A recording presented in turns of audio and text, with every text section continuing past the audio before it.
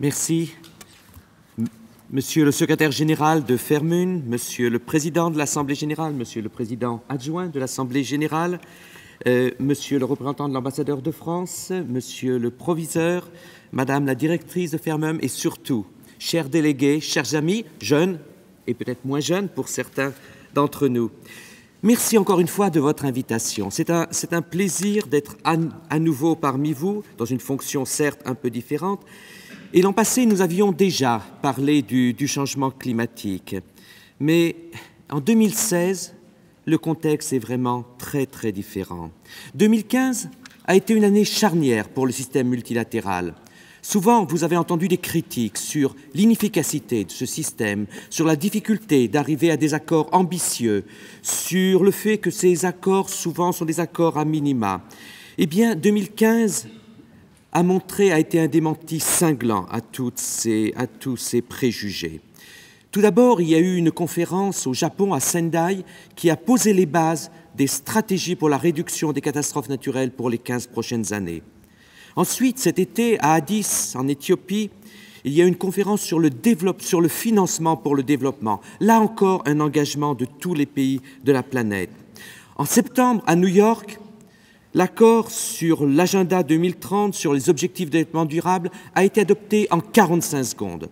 Bien sûr, il y avait derrière ces 45 secondes euh, des années de préparation méticuleuse, mais cet accord a créé une, dynamique positive qui a contaminé de manière, euh, je pense, très, euh, très positive les discussions qui ont eu lieu à Paris lors de la COP 21. Et donc, l'année 2015 s'est terminée avec cet accord historique sur le changement euh, climatique. Euh, le thème de votre, de votre Assemblée, c'est le changement nécessaire.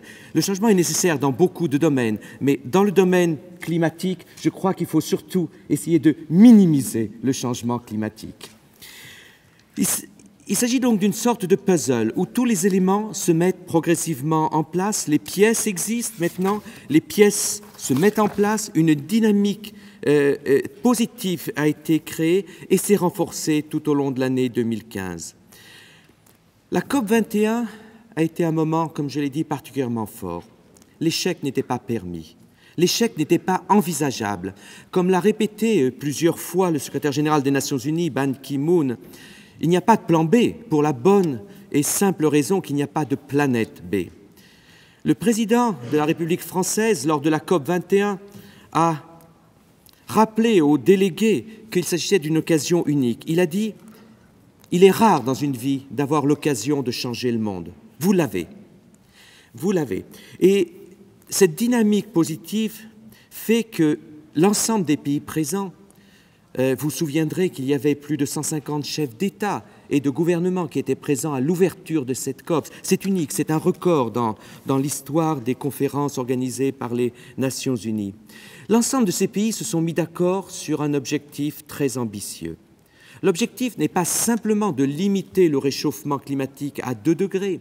La formulation est qu'il faut rester bien en dessous de 2 degrés et se rapprocher autant que possible de 1 degré et demi. Pourquoi? Parce que même avec, euh, même avec 2 degrés, les conséquences seront insupportables pour un certain nombre de pays, seront ingérables par exemple pour un certain nombre de, pays tels que les petits États insulaires ou d'autres pays euh, très vulnérables.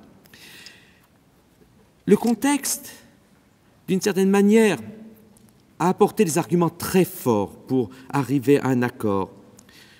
L'année 2015 a vu de nouveau un record de concentration de gaz à effet de serre. Le CO2, bien entendu, mais le méthane, les autres gaz à effet de serre, tous ont battu des records historiques. L'année 2015 a été la plus chaude jamais enregistrée depuis que nous avons des observations fiables. Et la plus chaude avec une marge importante, pas simplement quelque chose de statistiquement non significatif. Non, l'année 2015 a été la plus chaude jamais enregistrée. Euh, l'année, les dernières cinq années ont été les, plus chaudes. Si vous prenez la dernière décennie, ça a été la plus chaude. Vous avez pu entendre ici ou là euh, ce mot, une pause dans le réchauffement climatique, un hiatus. Il n'y a pas de pause, il n'y a pas de hiatus. Le réchauffement continue, avec une variabilité bien entendu, mais le réchauffement continue. Et puis, 2015 euh, a été marqué par le développement d'un phénomène El Niño très important, un des plus forts depuis, depuis plus de 50 ans.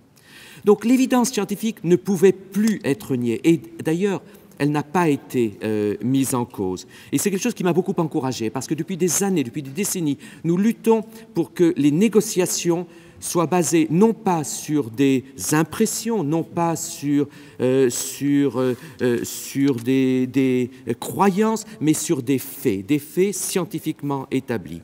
Et le débat, donc, à Paris, a pu porter sur les vraies questions. Les questions sur le niveau d'ambition, je l'ai déjà mentionné, non seulement 2 degrés, mais essayer de se rapprocher autant que possible de 1 degré et demi. Débat sur les moyens donc d'arriver à ces, ambitions, donc quelles devront être les réductions des émissions nécessaires pour, euh, y arriver? Euh, Comment peut-on s'assurer que les États tiennent leurs engagements? Système de vérification périodique. Vérification périodique tous les cinq ans. La première aura lieu en 2020. Nous aurions souhaité que ce soit un peu plus rapide, mais c'est déjà un engagement qui est considérable. Les engagements devront être différenciés. Dire que ce ne seront pas les mêmes pour les pays développés, les pays en développement, mais aussi un événement fondamental à Paris, c'est que tous les pays se sont engagés, pays développés et pays en développement, comme je l'ai dit, de manière différenciée. L'adaptation, même si nous arrivons à limiter ces émissions de gaz à effet de serre, il y aura quand même un certain réchauffement. On espère qu'il sera aussi proche que possible de 1,5 degré, mais il y aura un certain nombre de conséquences. Il faudra que les pays s'adaptent. Et pour s'adapter, il y aura besoin de euh, renforcer les moyens financiers, les transferts de, de technologies. Tout cela est positif, mais tout cela n'est qu'une étape. Les engagements actuels ne, correspondent, ne sont pas encore à la hauteur. Les engagements en termes d'émissions, de réduction d'émissions, ne sont pas encore à la hauteur euh, de l'ambition de maintenir le réchauffement sous la barre des 2 degrés. Pour le moment, nous sommes plutôt sur une trajectoire de 2 degrés et demi à 3 degrés. Donc il va s'agir de renforcer ces engagements. Je crois que la dynamique est là, la dynamique est positive, je l'ai déjà dit plusieurs fois, mais il va falloir continuer à la renforcer. Il va falloir associer de manière plus forte les différents acteurs, bien entendu les gouvernements, mais aussi les ONG, la société civile, les villes, les régions, le système académique, le secteur privé et toutes les couches de la société, et en particulier la vôtre, les jeunes. Les, jeunes, avec toute la diversité, les minorités aussi doivent être impliquées tous les objectifs de développement durable interagissent les uns avec les autres. On ne peut pas les traiter de manière isolée. Il faut donc avoir une approche intégrée qui permette de voir les interactions entre ces différents aspects. Il s'agit donc d'avoir une approche qui est également multidisciplinaire. Il n'y aura pas de développement durable si nous n'arrivons pas à maîtriser le changement climatique. Il faut donc avoir une vision à long terme les thèmes de votre session ici, ce sont les migrations, c'est le terrorisme, c'est le changement, le changement climatique. Il faut bien voir que tous ces thèmes interagissent les uns avec les autres. Et malgré l'urgence, et je ne nie pas l'urgence de s'attaquer aux problèmes tels que le terrorisme, tels que les migrations, il faut bien entendu s'attaquer, mais il faut aussi s'attaquer aux causes et il faut s'attaquer aux problèmes qui, euh, qui aggraveront euh, ces, autres choses, telles que le changement climatique. Le changement climatique est un facteur éminemment euh, aggravant. Donc je ne peux pas prendre trop de temps parce que le but de votre session, c'est à vous de le, c'est votre contribution, c'est à vous. Donc je souhaiterais vous adresser un message. Ne vous laissez pas enfermer dans un seul domaine. Soyez curieux de tout. La gestion de ces problèmes complexes demande une nouvelle génération de jeunes scientifiquement formés et qui peuvent, qui peuvent vraiment maîtriser les interactions entre ces domaines, euh, ces domaines euh, très différents et très complexes. Continuez à poser les questions qui, dérangent. Il s'agit de votre avenir et de celui de, de vos enfants. Mais lorsque vous accéderez à des postes de responsabilité, je vous demande quelque chose. N'oubliez pas vos engagements de jeunesse. Pour ma part, ils, m'ont toujours guidé et ils continuent de le faire.